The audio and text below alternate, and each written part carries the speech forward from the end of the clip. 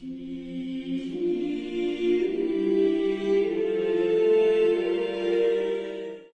el nombre del Padre y del Hijo y del Espíritu Santo. Amén. Dios te salve María, llena eres de gracia, el Señor es contigo. Bendita tú eres entre todas las mujeres y bendito es el fruto de tu vientre Jesús. Santa María, Madre de Dios, ruega por nosotros pecadores, ahora y en la hora de nuestra muerte. Amén. San Ignacio de Loyola, ruega por nosotros. En esta plática de este día, que como verán es bastante larga, siempre hagan buen uso de la tecnología y divídanla en todo caso. Vamos a tratar dos cosas referentes al examen de conciencia, del cual ya hablamos eh, en, la, en, la, plática anterior, en la plática octava, pero hablamos del examen de conciencia general, eh, usando la nomenclatura de San Ignacio, pero aplicándolo sobre todo a la confesión. En este caso, Vamos a hablar del examen de conciencia de este mismo general, pero en cuanto a lo útil e importante de hacerlo de manera diaria, por la noche preferentemente, y también vamos a hablar, hablar del examen de conciencia particular. Son esos dos puntos que vamos a tratar con una introducción acerca de la importancia que le da San Ignacio a la reflexión en sí mismo, cosas más o menos dichas también, pero que vamos a puntualizar por la trascendente del tema en ejercicios y en toda, en toda la vida. En cuanto entonces a, lo primero, a manera introductoria, la reflexión continua sobre sí mismo y la importancia que le da a esto San Ignacio. Voy a seguir en toda esta plática sustancialmente al padre Casanovas. Va a decir él, tratándose del método de San Ignacio, es de todo punto imposible prescindir de un elemento psicológico de primera fuerza cuál es la reflexión. Su conversión y el proceso íntegro de su santidad llevan impreso el sello de una honda observación interna que ha sido trasladada sin menoscabo alguno a los ejercicios. Y dentro de esta reflexión sobre sí mismo tiene un papel preponderante el examen de conciencia, que no solamente él nos pide hacer este que vamos a ver ahora diario, incluso el examen particular, que también lo veremos, sino que en ejercicios espirituales típicos nos hace hacer, como ya hemos dicho, 15 minutos de examen de la meditación de una hora. Es decir, que uno en un, en un ejercicio típico está en un día, durante un día, dos horas de reloj haciendo examen de conciencia, lo cual pide, como va a decir el padre Casanovas, un vigor y un equilibrio interior nada vulgares. Bien, de todas maneras, por supuesto, en todo lo que voy diciendo, tomamos el espíritu de San Ignacio, el espíritu de los ejercicios, estamos hablando en muchas cosas de un ejercicio espiritual típico, en 30 días en retiro, cada uno debe aplicarlo a la vida que lleva, cómo lo está haciendo, en, la vida cotidiana, eh, por internet, etc. Pero sí está, es muy interesante, repito, y no me voy a cansar de, repetir, tomar el espíritu que da San Ignacio y el espíritu que nos transmiten los ejercicios y tener ese, ese valor de aplicarlo en mi vida en cuanto sea posible. San Ignacio lo vivía esto todos los días de su vida, estas cosas con sus más y con sus menos. Digo, no, no digo que hubiera estado dos horas haciendo examen. En realidad, incluso quizás sí, porque, porque su vida era un continuo examen. O sea, era un hombre que tenía, eh, tenía un, un, conocimiento y, y una, y un manejo de su vida interior y por supuesto guiado por la gracia de Dios, después ya en las cumbres de la santidad con mucha más razón ya era Dios más que los movía de lo que él mismo se movía o se, es que es propio de la vida mística, pero eh, me refiero a esto, a que escuchemos todas estas cosas y veamos en momentos de reflexión y demás en cuánto las puedo aplicar a mi vida y ahí también ir descubriendo si hay afecciones desordenadas que me impiden ser generoso con Dios y en cuanto yo me tengo que vencer a mí mismo para ordenar mi vida y, aplicar estas cosas entonces que nos aconseja San Ignacio. San Ignacio nos trae el principio de fundamento, el número 23, y a renglón seguido, a renglón seguido, nos trae el examen de conciencia particular, que yo lo voy a dar después, y el examen de conciencia general. O sea, ahí nomás, que significa eso, como dice el padre Casanova, que le da un sitio importantísimo principal. Y de hecho, cuando San Ignacio nos habla de adaptar los ejercicios a personas que por ahí no tienen muchas ganas de, dar todo o que no tienen mucho tiempo eh, así cualificado para rezar, sino simplemente escuchar unas charlas o, o no tienen mucha voluntad, bueno, o mucha capacidad. Cuando los reduce a lo mínimo, San Ignacio, los ejercicios, a lo mínimo, dice el santo que hay que dar, además del principio de fundamento, hay que dar los exámenes. A todos, entonces a nadie exceptúa, a todos hay que darle estos exámenes que San Ignacio nos trae aquí. La mente del santo, dirá el padre Casanovas, es que la primera impresión que reciba el ejercitante sea de gran tendencia introspectiva. Lo mismo en la oración, no solamente nos pide hacer un examen de la oración, que en el caso de ustedes puede ser cinco minutos, tres minutos al final, sino que en la misma oración nos va diciendo en la contemplación, ¿no? reflectir en mí mismo para sacar algún provecho. ¿eh? Reflectir, es decir, reflexionar, mirar lo que estoy contemplando de alguna manera fuera mío, aunque es dentro, pero mirarlo y confrontarlo con mi interior. Una y otra vez nos lo dice y podía evitar decírnoslo, ya nos lo aclara. No, no, lo vuelve a repetir. Nos pide también el santo tener interno conocimiento del Señor, nos pide tener sentimientos. Todo, todo va al interior, a esa introspección, a ese mirar qué hay dentro mío y confrontarlo con lo que debería haber, con la vida del Señor, con los grandes principios de nuestra fe, etc. Bueno, ni qué decir con respecto a las reglas de discernimiento que ya hemos eh, tratado con detalle, pero que todavía nos falta la de la segunda semana. Digo, ni qué decir cómo también en eso San Ignacio nos pide y nos invita a ser introspectivos, a mirar hacia adentro, para que ese interior nuestro sea iluminado con la luz sobrenatural. Ahora sí, después de esta introducción, vamos a ver en primer lugar el examen de conciencia general, que está en el número 32, y después veremos entonces el examen de conciencia particular. En cuanto al examen de conciencia general, hacemos notar que San Ignacio, a los cinco años de, escribirlo y de empezar a, dar ejercicios, eh, tuvo que comparecer ante la Inquisición y lo que más le llamó la atención a los jueces fue la intrepidez con que en el libro se analizaban y aclaraban los actos más delicados y finos del pensamiento definiendo en cada caso su grado de responsabilidad. Estas finuras y exquisiteces de observación se hallan en el examen general, hace notar el padre Casanovas. Y en el mismo título declara San Ignacio que el examen no se limita a preparar al ejercitante para que haga una hermosa confesión, sino que atiende a conseguir la pureza del alma. Bien, entonces, el examen este general que, va a definir estas cosas ya lo vimos nosotros en la plática octava, como decíamos, cuando explicamos cómo hacer el examen de conciencia para hacer una buena confesión. Entonces, esa primera parte, eh, que leo de nuevo el título para recordar, examen general de conciencia para mejor limpiarse y para mejorse confesar. Bueno, ya está dada. No voy a hablar de nuevo de eso. Pueden volver a la, plática, pueden leer el librito de los ejercicios con mucho fruto.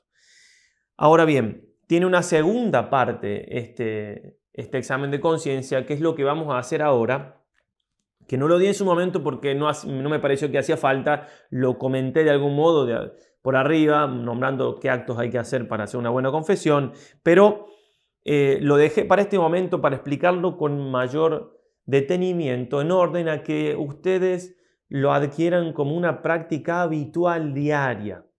Es decir, la intención sería que uno llegue la noche todos los días y eh, e-, es de, buen cristiano hacer un examen de conciencia, ¿verdad? Bueno, la idea sería hacerlo como nos recomienda aquí San Ignacio. Pone él el número 43 dice el santo. El son los cinco puntos que nos da para hacer un buen examen de conciencia. ¿sí? El primer punto es dar gracias a Dios nuestro Señor por los beneficios recibidos. Los leo todos y después los vamos comentando. El segundo, pedir gracia para conocer los pecados y lanzarlos. El tercero, demandar cuenta al ánima desde la hora que se levantó hasta el examen presente, de hora en hora o de tiempo en tiempo, y primero del pensamiento y después de la palabra y después de la obra, por la misma orden que se dijo en el examen particular, ya lo vamos a comentar. Cuarto, pedir perdón a Dios nuestro Señor de las faltas. Quinto, proponer enmienda con su gracia. Bien, ¿qué busca eh, San Ignacio con este examen? El padre Casanovas dice, decir que el examen general cotidiano es un medio para purificar nuestras almas de sus faltas ordinarias y una preparación remota que asegura y facilita la confesión general sería contestar a la pregunta de una manera inadecuada. Uno hubiera respondido, si no sale bien la respuesta, lo que acabamos de leer, o sea, que me ayude afinar mi conciencia, a sacar los pecados, de no arrepentirme, prepararme para la confesión, ya una cosa hermosa. Pero miren estas genialidades que tiene Casanovas al interpretar a San Ignacio. Dice, cierto que esos son buenos frutos del examen, pero San Ignacio va tras un fin espiritual de más elevada importancia pretende que nuestras faltas cotidianas no enfríen el fervor y menos aún nuestro amor a Dios. Trascendente esto, importantísimo. Nosotros tenemos que cuidar en nuestra vida que nada nos quite el fervor, el amor a Dios. Y esto es también algo a tener en cuenta, el discernimiento de espíritus no solamente si nos trae alegría, consolación, en realidad en esa alegría y consolación está el fervor, está ahí, pero lo digo de una manera que, me ayude a, a, puntualizar más.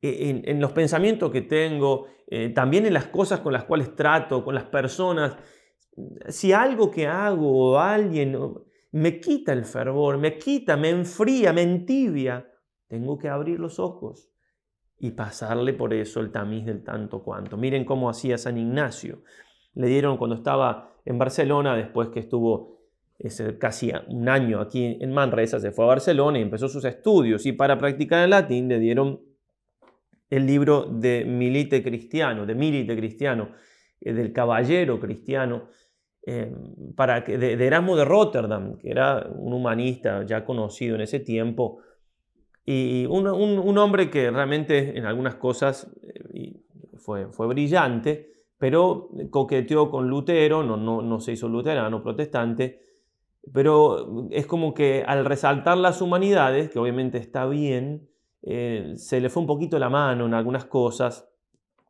y, dejó de lado lo, sobrenatural. Y por eso San Ignacio le pasó lo siguiente. Eh, él se lo dieron, consultó con su confesor, le dijo que leyera, pero advirtió una cosa, muy nueva y muy maravillosa, y es que en tomando libro, que digo, esto escribe Rivadeneira, de Erasmo en las manos, comenzando a leer en él, juntamente se le comenzaba a entibiar su fervor y a enfriarse la devoción. Y cuanto más iba leyendo, iba más creciendo esta mudanza de suerte que cuando acababa la lección le parecía que se había acabado y helado en todo el fervor que antes tenía. Y como echase de ver esto algunas veces, al fin echó el libro de sí y no volvió a leer a Erasmo de Rotterdam y también sugirió o mandó lo mismo a los jesuitas, que no lo hicieran. Hay que tener entonces ese criterio en las cosas con las cuales tenemos contacto, que escuchamos, que leemos. Hoy en día hoy en día, que se pone el título de católico a cosas que de católico no tienen nada. Incluso, obviamente, en librerías católicas no todo es católico, lamentablemente. Hay que tener mucho cuidado. Por supuesto, preguntar. Nos preguntaban ayer por un libro, no, voy a decir aquí el nombre del autor, nada. Este, no, no, no, esos libros no son católicos, por más que se vendan o que se ofrezcan en lugares católicos, no. Y no lo digo yo, lo dice gente que sabe y, además porque es bastante evidente, porque si me, llevan, me sacan del cristianismo, del catolicismo, me llevan a, um, religiones orientales y demás. Tengan cuidado entonces de qué leen y, qué, qué, efectos producen ustedes lo que leen para poder discernir. Hay que tener cuidado, con, tenemos cuidado lo que comemos por este cuerpito, que ya hemos dicho varias veces que en unos años más ya se, se hace cenizas se hace polvo, no vamos a comer algo que tiene mucha grasa y vamos a leer cualquier cosa. Vamos a consumir en nuestra alma, que es espiritual y que es eterna. Algo que no sé bien ni de dónde salió ni de... Mucho cuidado. Un gran sacerdote argentino después de leer a Hegel, que lo leía por cuestiones pastorales, porque él era escritor y necesitaba ayudar a la gente, después de leer a Hegel, que es un, un filósofo alemán, se rezaba un credo. es esto de San Ignacio. Él lo tenía que leer porque necesitaba para hacer bien a las almas, pero sabía que era peligroso y que le hacía mal a su fe. Entonces ponía todos los resguardos, leía Hegel y rezaba el credo. En nuestro caso muchas cosas no hay que ni leerlas, por supuesto. Seguimos entonces con el examen de conciencia que nos va a decir Casanova que tiene como ese, ese fin de mantener firme nuestra, nuestra intención, nuestro fervor. ¿sí? Lo mismo va a decir, después vamos a particularizar con el examen de conciencia particular, valga la redundancia. Nos dice Casanovas que, como San Ignacio refiere, hay pecados que nos quitan más el fervor que otros. Es decir, el pecado siempre nos va a quitar el fervor, pero también hay que ver qué tipo de pecado, pero después qué hago yo con el pecado cometido, cómo lo tomo, cómo lo trabajo, cómo lo manejo. Y ahí está entonces la genialidad de San Ignacio, de ayudarme a que los pecados no produzcan eso que nos dice cuando meditamos el infierno, que, que pueden hacernos olvidar del amor de Dios. Vamos entonces punto por punto a hablar de lo que nos refiere San Ignacio con respecto a cómo hacer este examen general todas las noches. El primer punto, repetimos lo de recién, pero lo analizamos, es dar gracias a Dios nuestro Señor por los beneficios recibidos.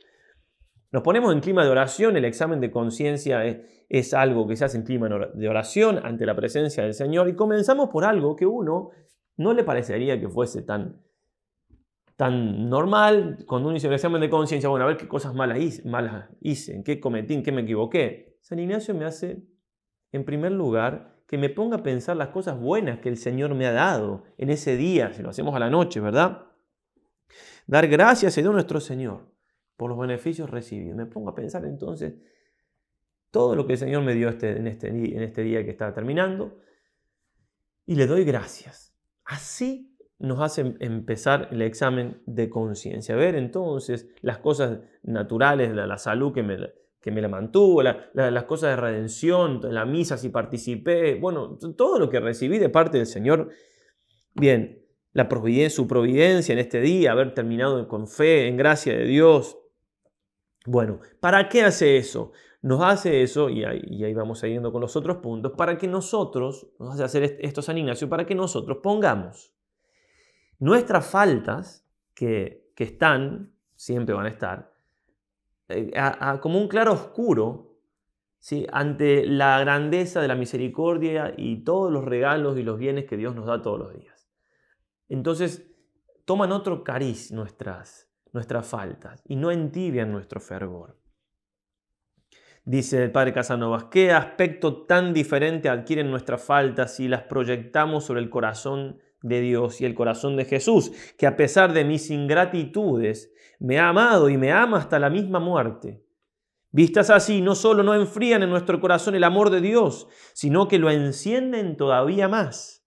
Por eso quiere San Ignacio que el primer punto del examen sea dar gracias a Dios por los beneficios recibidos.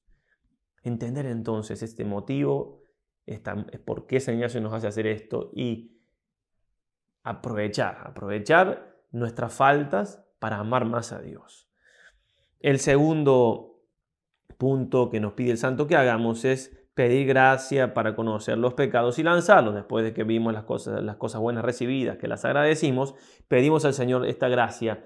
Eh, no, no es fácil, solo no podemos, sin mí nada podéis hacer, dice el Señor Juan 15.5, necesito su luz sobrenatural para que pueda ver como una luz, estoy en una habitación y puedo ver más o menos con mis ojitos, sí, pero con la luz sobrenatural, con la luz del sol que entra por la ventana, veo, veo las motas, veo las partículas de... Entonces pido a la luz del Señor para que me haga ver mis faltas. No es fácil, no es fácil conocerme a mí mismo, no es fácil conocer mis intenciones, dirá el padre Casanova, es el móvil que me lleva a hacer las cosas, a veces tienen profundidades muy oscuras.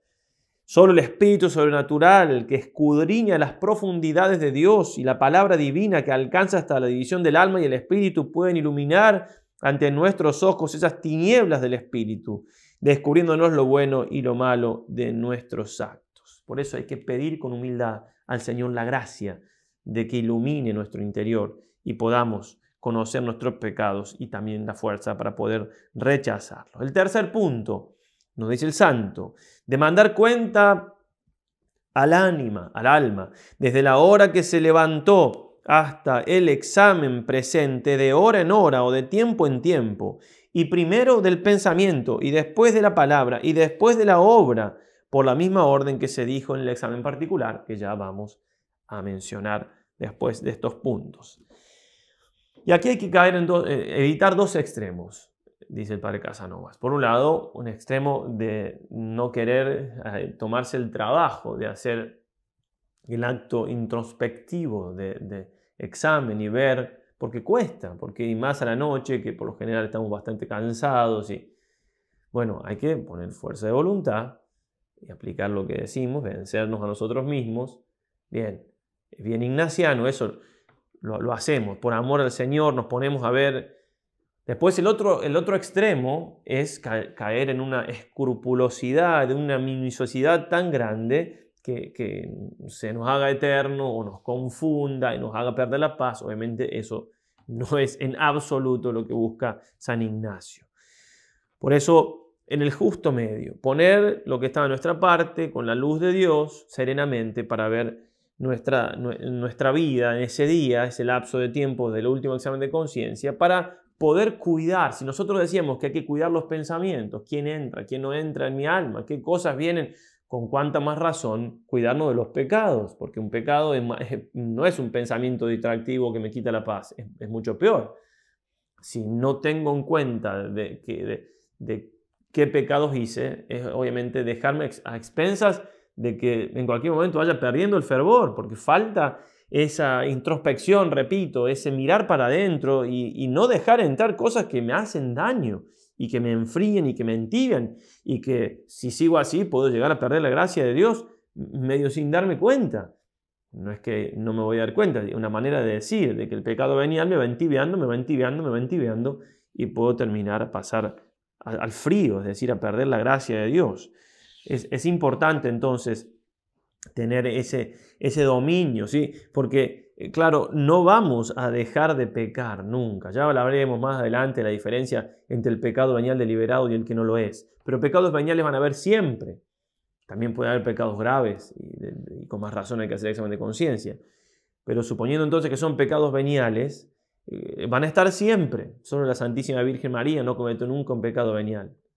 Aclaro de nuevo, ya vamos a repetir, vamos a hablar más adelante la diferencia entre un pecado venial deliberado y uno que no lo es. Digo, para que no quede como que un pecado venial vamos a tener siempre y ya está. No, hay una lucha importante que hacer ahí. Pero siempre vamos a tener algún tipo de pecado venial. Ahora, lo importante es ver qué hago yo con ese pecado venial.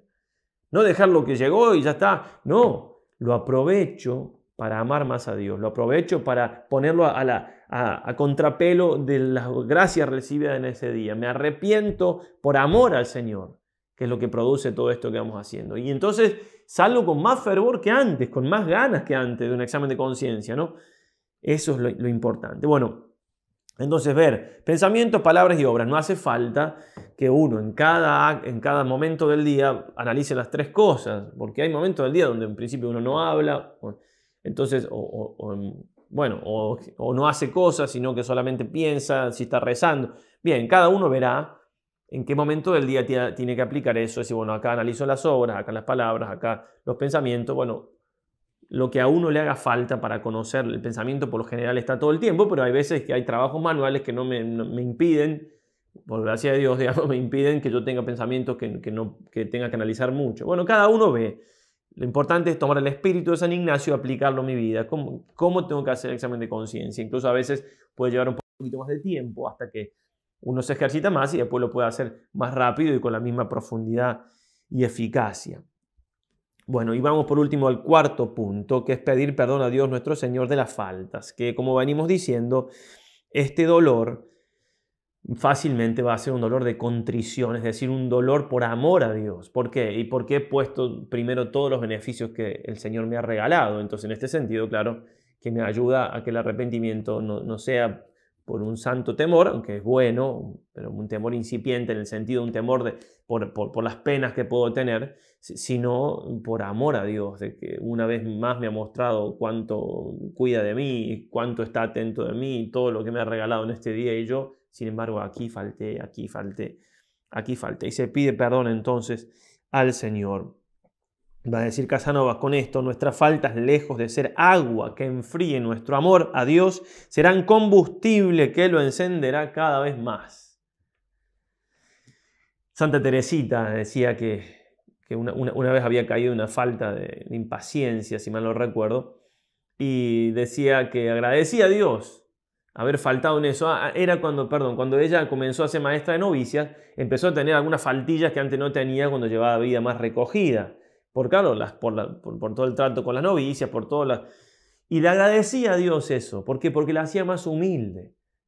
Entonces, e, eso es una buena manera de aprovechar las faltas. Agradecerle a Dios por, por las faltas, que, tienen que ser faltas que, que, no quise, faltas con las cuales lucho, no, no, se entiende bien, ¿no es cierto? Pero, pero esa es una buena manera, eso es como un espíritu ignaciano, ¿no? También de, ver las faltas y aprovecharlas para amar más a Dios y para con más fuerza buscar no volver a cometerlas.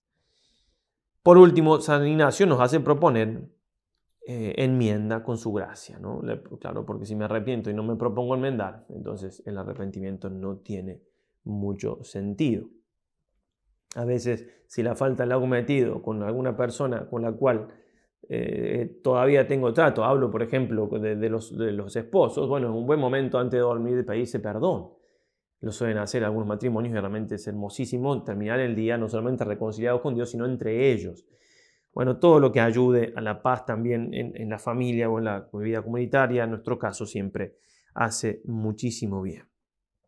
Si Dios no se cansa, dice Casanova para terminar, ni me vuelve la espalda viendo mis faltas cotidianas, ¿por qué me he de cansar yo de, aguantarme a mí mismo? Si Dios me regala con un nuevo día para que le ame, ¿por qué no entrar en Él lleno de humildad, confianza, esperanza de que yo también le amaré a Él un poquito más? No tengo yo prendas que afiancen estas mis promesas, pero puedo asegurarlas en el amor infinito que me ayudará. Así entonces comenzar el día siguiente, habiendo terminado con estos santos pensamientos, con esas ganas de volver a amar cada vez más al Señor.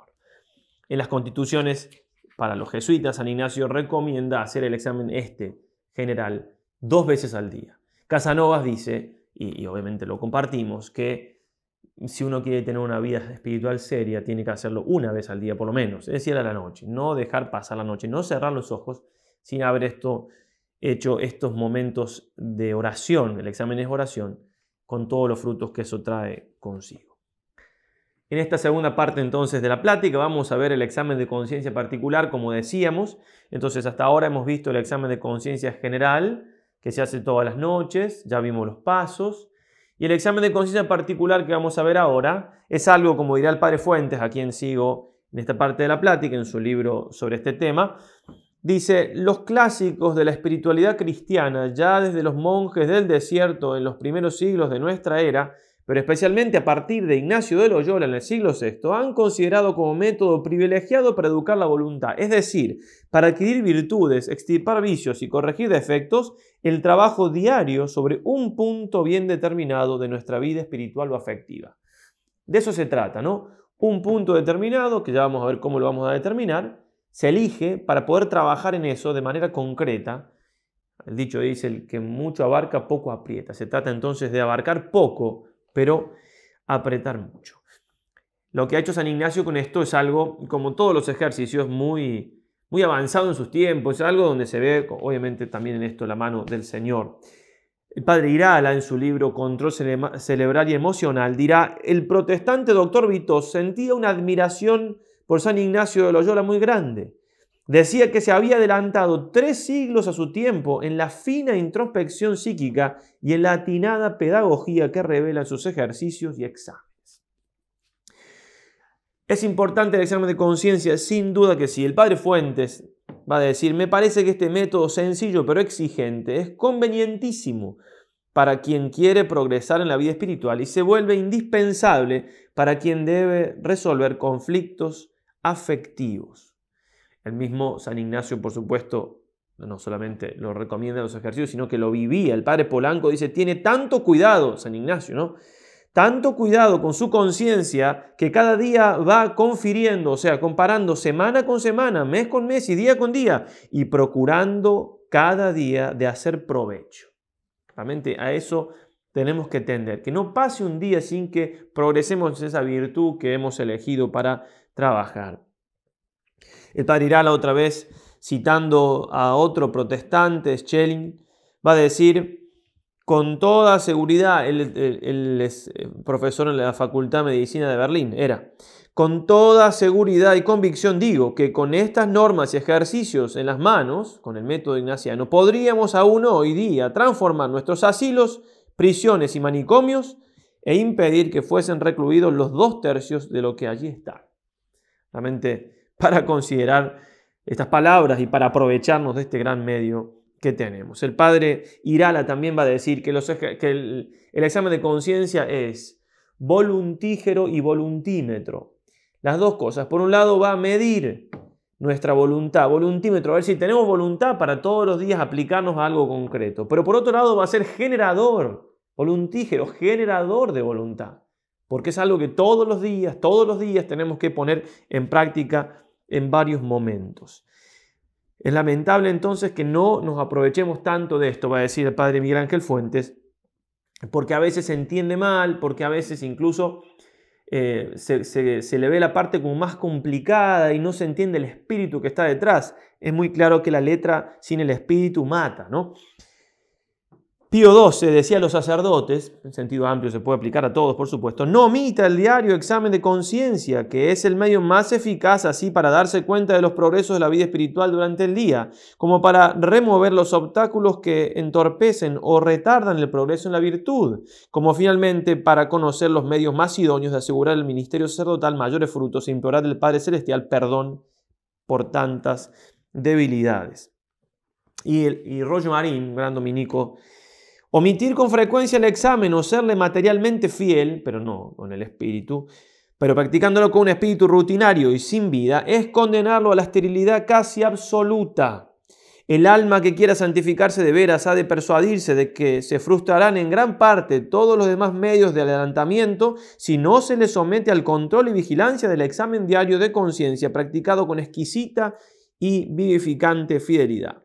Tanto lo que dice Casanovas como lo que dice eh, Rollo Marín, perdón, como Pío XII, es del examen de conciencia en general. Lo que tiene de bueno esto de San Ignacio es que nos da un método incluso un poco más particular a los mismos efectos que están planteando estos dos autores. Y este es el, lo que vamos a ver ahora del, examen de conciencia particular entonces. Va a consistir, va a decir San Ignacio, y ya entonces nos adentramos a, a lo que dice el mismo santo y lo vamos comentando.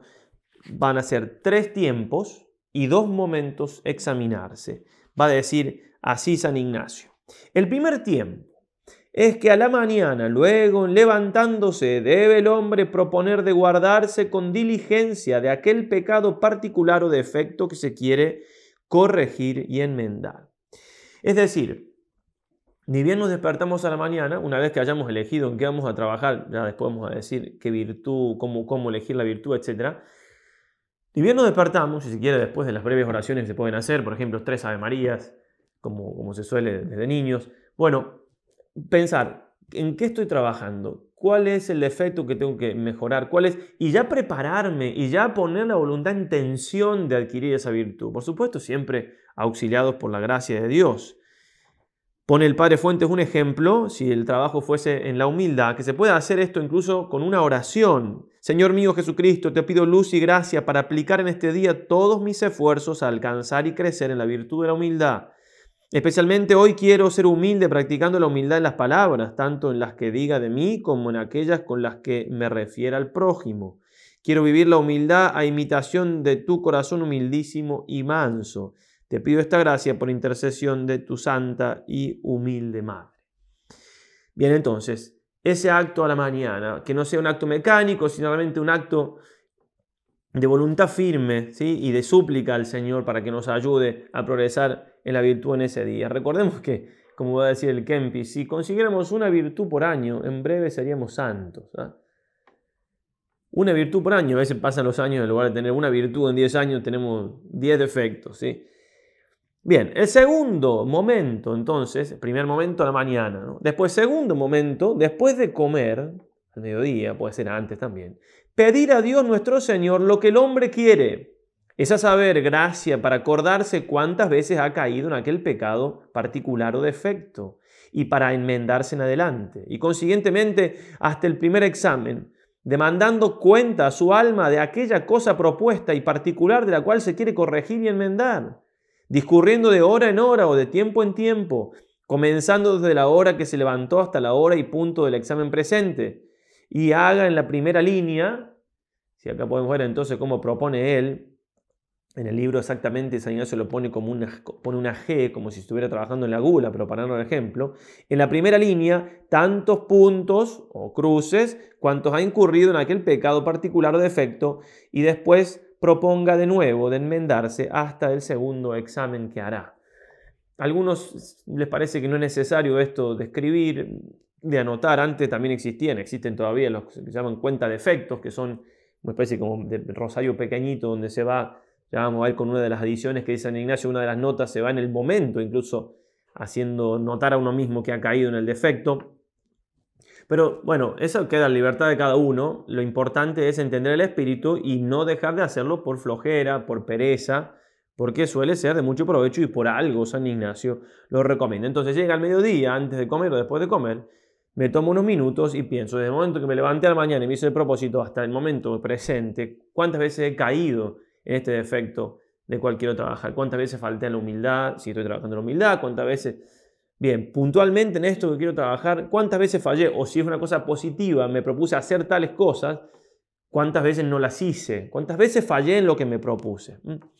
Bueno, por último, en cuanto a esto de los tres tiempos y dos veces examinarse, el tercer tiempo, después de cenar, se hará el segundo examen, asimismo de hora en hora, comenzando desde el primer examen hasta el segundo presente, y haga en la línea de la misma G tantos puntos cuantas veces ha incurrido en aquel particular pecado o defecto. Es decir, tenemos cada día dividido entre mañana y tarde, entonces en la primera línea se pone las cruces de la mañana y en la segunda línea del mismo día las cruces de la tarde. Entonces, eso, en, eso consiste el examen y que en, este sentido, entroncándolo con el examen general del cual habíamos hablado, en el momento que del examen general todo parece muy complicado, hasta que lo empiezan a hacer y es muy sencillo. ¿sí? Una vez que me pongo a ver mi día, cómo me ha, ido a la noche en el examen general, en ese momento, cuando tengo que revisar mis pecados, ahí va el examen particular, porque además de ver en general cómo me ha ido en todo el resto de, mi vida espiritual y, demás, puntualmente quiero ver cómo me fue el defecto que, que quiero mejorar en concreto. Y después sigo pidiendo perdón al Señor, lo mismo que ya habíamos visto. Bueno, y anoto en lo posible, se anota, ¿sí? Es sencillo, hay unas notas más, no es mucho más que eso, las notas también son importantes.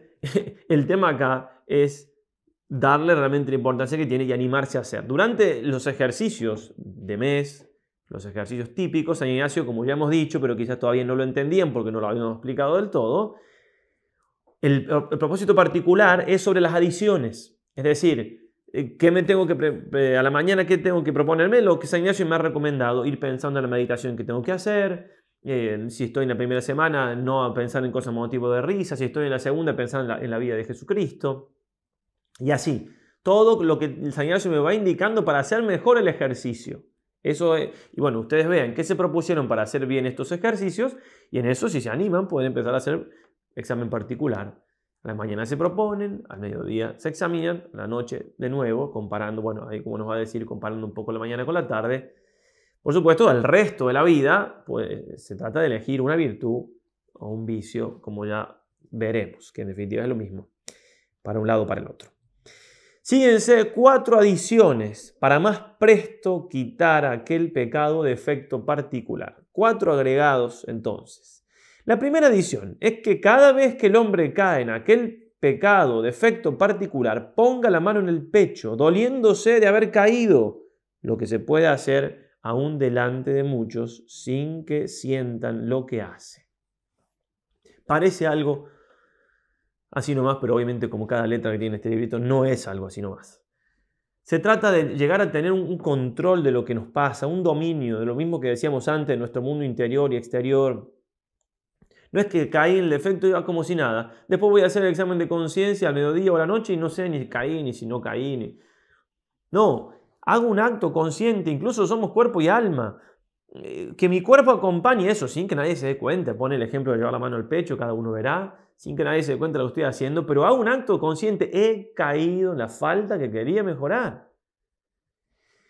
Y acá pongamos los ejemplos que queramos para darnos cuenta que no nos está pidiendo nada del otro mundo. Si alguien quiere, no sé, un comerciante que tiene un negocio y quiere, quiere progresar y quiere ganar más dinero, va a estar atento a todas las cosas que le pueden hacer ganar o perder dinero. No se le va a pasar ninguna. No es que vaya a la noche y vaya a decir, uy, a las 10 de la mañana me parece que perdí plata porque tal persona...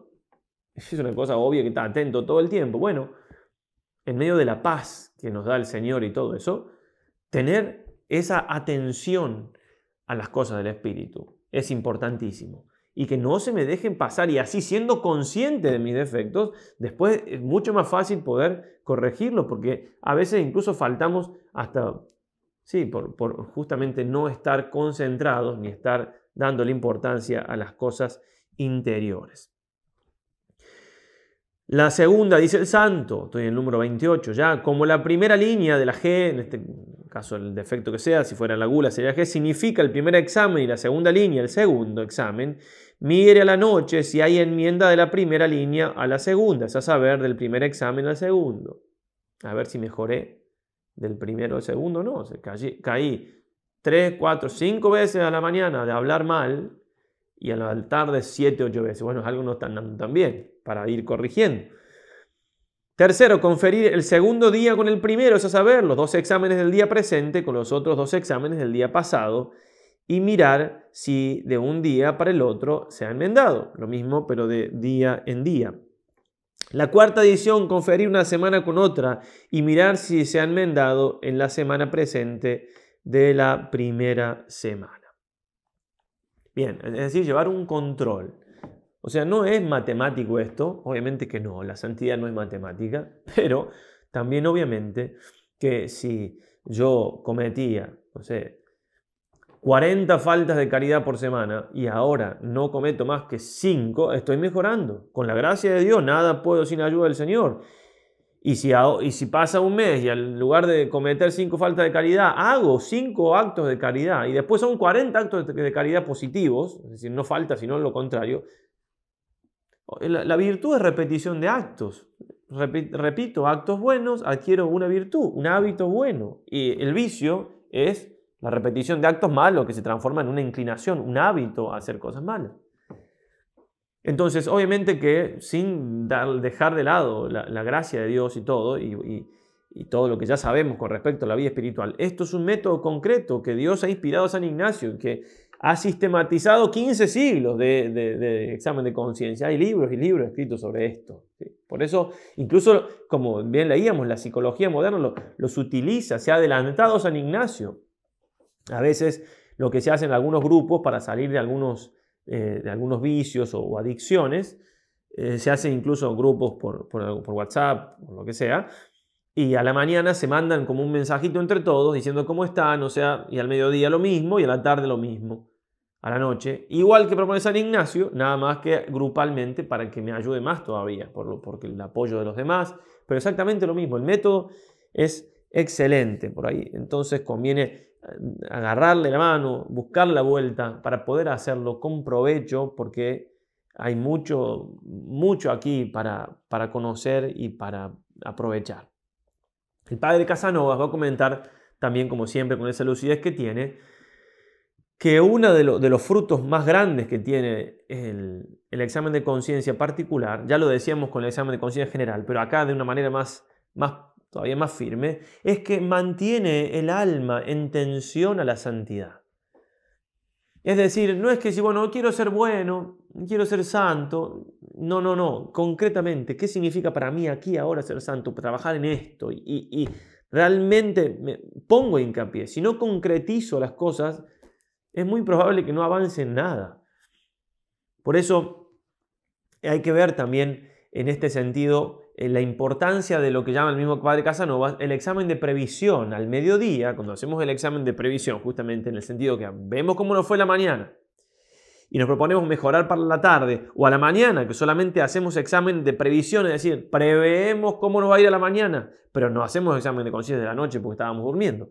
Digo, esos dos momentos que vemos para adelante también son importantísimos. Incluso va a decir, el padre Casanova, hasta cierto punto, más importante que lo que vi para atrás, en el mediodía. Decir, bueno, en la mañana me equivoqué una, dos, tres, cuatro veces. Bueno, ya pasó, está bien. Pero lo importante es que me propongo mejorar para la tarde. Si me quedo ahí, uy, ¿por qué me equivoqué? Y ya me pierdo el ánimo, eso, no sirve para nada. Bueno, que, si me fue mal a la mañana, me propongo mejorar para la tarde con fuerza. Y ese acto de voluntad nos va a ayudar muchísimo justamente a mejorar por la tarde, que es lo que queremos. Y así y después ir, confrontando un día, en la mañana o la tarde, un día con otro, una semana con otra. Y siempre moviéndonos por el deseo de agradar más a Dios, de su gloria, de caer virtudes. Las virtudes nos, nos ayudan a ser santos. Bueno, una cosita más, y es el hecho de acerca de qué hacer el examen de conciencia particular. Van a hablar la, historia así de la iglesia, la historia de la espiritualidad, los clásicos, siempre se va a decir que lo mejor es hacer examen de conciencia eh, particular sobre el defecto dominante. ¿Qué es el defecto dominante? Bueno, el defecto dominante, como, como bien dice la palabra, es un defecto que nos domina. Todos tenemos muchos defectos, pero hay uno que es la raíz de los demás. Entonces, si yo encuentro esa raíz, obviamente mejor atacar esa raíz. ¿Por qué? Porque atacando la raíz es más fácil que el árbol, las ramas, los frutos vaya muriendo. Eh, no es un defecto dominante en el sentido de que yo soy dominante. Alguna vez alguien me dijo que había entendido eso. No, no, no es que yo soy dominante, es que me domina a mí. El defecto me domina a mí. ¿Cuál es mi defecto dominante? ¿Cómo puedo descubrirlo? Bueno, el temperamento ayuda mucho, como decíamos, conocerse a, sí mismo por el lado del temperamento ayuda. De todas maneras, algunas otras cosas que dice Monseñor Fulton Sheen que nos pueden ayudar a descubrir el defecto dominante. Por ejemplo, cuando me critican, ¿Dónde me duele más? Si me critican de esto, de lo otro, del otro, ¿cuál de todas las cosas que me suelen criticar es donde más me encrispo? Bueno, puede ser un signo de que ese es mi defecto dominante, porque más me duele. Después, ¿qué defectos critico en los demás? Porque también ahí, por una cosa rara de la psicología humana, la psicología herida por el pecado, lo que, lo que critico al otro suele ser por lo general lo que más me falta a mí. También pensar, dice el mismo Fulton Sheen, cuáles son las cosas donde giran mis preocupaciones, o mis alegrías, o mis tristezas. Bueno, todas esas cosas, más la oración y pedirle al Señor la gracia de poder descubrir, nos tienen que ayudar a descubrir el defecto dominante. Si no descubro el defecto dominante, no me, puedo, tengo que poner mal. El padre, si mal no recuerdo, el beato a la mano decía, si no, es él, es otro beato, pero creo que era él, que en la duda, si no sé en qué trabaja, en la duda trabajo en la humildad, nunca le voy a errar. Siempre a todos nos falla esa virtud, nos hace falta más humildad. También interesante, el padre Caso nos va a decir, si bien el criterio siempre ha sido mejor trabajar el defecto dominante, sin embargo, dado que la trascendental importancia del examen particular se da por el hecho de mantenerme a mí con firmeza a la santidad, con esa voluntad firme, entonces Quizás también puedo usar otro criterio para designar en qué voy a trabajar. Y puede ser el hecho de en qué tengo ganas yo ahora de mejorar. Suponiendo que, que no tengo pecados, vicios graves, digamos. Entonces, bueno, tengo vicios graves, tendré que trabajar un vicio grave. Pero después, sacado ese criterio, bueno, ¿en qué yo ahora, en qué me gustaría mejorar aquí ahora? Porque si me entusiasma, siempre que sea, claro, cosas buenas y la vida espiritual, eso me va a ayudar a, tener, a tenerlo presente, a, ponerle agilidad y poner fuerza. Entonces es algo interesante para, para notar, ¿no? En qué cosas, y después también tener presente la caridad, porque puede haber, yo tengo defectos más profundos e importantes que trabajar, pero no influyen en los demás. Pero a lo mejor un efecto concreto sí influye en mi prójimo y sí lo hace sufrir. Entonces puedo empezar por ese defecto, aunque no sea el más profundo y raíz de los demás, pero ese defecto, eh, por caridad, lo quiero mejorar para no hacer sufrir a los demás. El padre Fuentes va a decir eh, con mucha certeza que es importante conocer la virtud en la cual uno quiere trabajar. Porque si no la, si no la conozco, es decir, bueno, a ver, voy a, me quiero ser más humilde. Bueno, ¿qué significa ser más humilde? Eh, bueno, no hablar tanto de mí, bueno, una cosa puede ser, pero, si yo quiero trabajar en algo mientras la inteligencia esté más iluminada de, a qué me estoy refiriendo, es mucho mejor. Obviamente que me entusiasmo más, encuentro más motivos, encuentro más momentos. Incluso puedo dividir el trabajo, bueno, este, esta semana voy a trabajar de la humildad en esta parte, esta otra semana en esta otra. Voy a leer parte de un ejemplo que pone el padre Fuentes del trabajo en la humildad y el orgullo, un ejemplo simplemente a seguir, cada uno tiene que hacer uno propio, porque claro, a cada uno le aprieta el zapato de distinta manera. entonces, A, la humildad brota del correcto conocimiento de sí mismo, de mis pecados, de la acción de Dios en mi alma, y esto es una gracia que tengo que pedir, por tanto debo, dos puntos, pedir la gracia que sea en la humildad, otro, rezar las letanías de la humildad del canal Merrielval. B, y también tengo que poner los medios para conocerme a mí mismo. Por eso debo A, uno, hacer memoria de mis pecados. Dos, recordar que todo lo bueno que tengo Dios me lo dio gratuitamente. C, el orgullo me hace costosa la obediencia, sobre todo a los que son mis iguales y mis inferiores. De ahí que debo, por un lado, obedecer dócilmente a mis iguales e inferiores, pedir que otro me indique lo que debo hacer, buscar la obediencia. D. El orgullo me hace sentir injustas las burlas y humillaciones. En este orden, he de llevar en silencio las burlas y humillaciones, seguir la corriente cuando se burlan de mí, aprender a reírme de mí mismo. E. El orgullo me lleva a creerme superior a los demás y a juzgar a los demás y a no saber aceptar ayuda de otro. Por tanto, me esforzaré por pedir ayuda a otro, consejo, opinión, explicación, buscar la compañía de los que siento que me hacen sombra, no entretenerme pensando en los defectos de los demás, hablar bien de los demás. Y así. Lo pueden leer si quieren, por supuesto.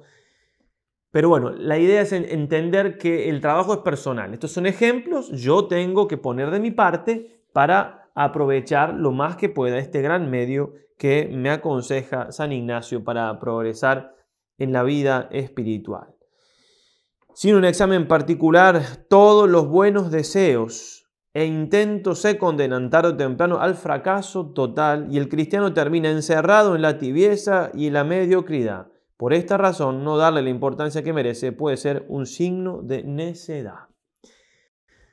Pidámosle a María Santísima la gracia que nos ayude a entender estas cosas.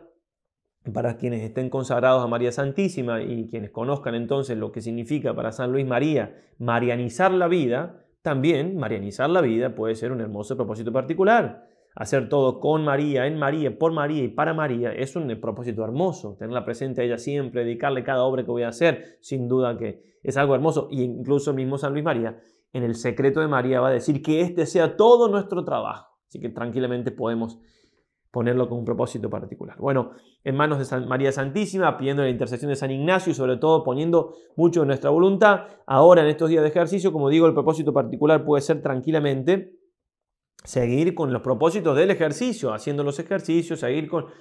Pero ya vamos a ir viendo para cuando termine los ejercicios, y es parte de lo que tenemos que ir rezando y meditando, qué cosas convendría que uno pueda eh, trabajar para seguir con ese deseo, ese deseo de progresar, eso no se me tiene que apagar, esa llamita no tiene que apagarse nunca. La llama de buscar a Dios en todo, siempre con su gracia. Ave María Purísima, sin pecado concebida.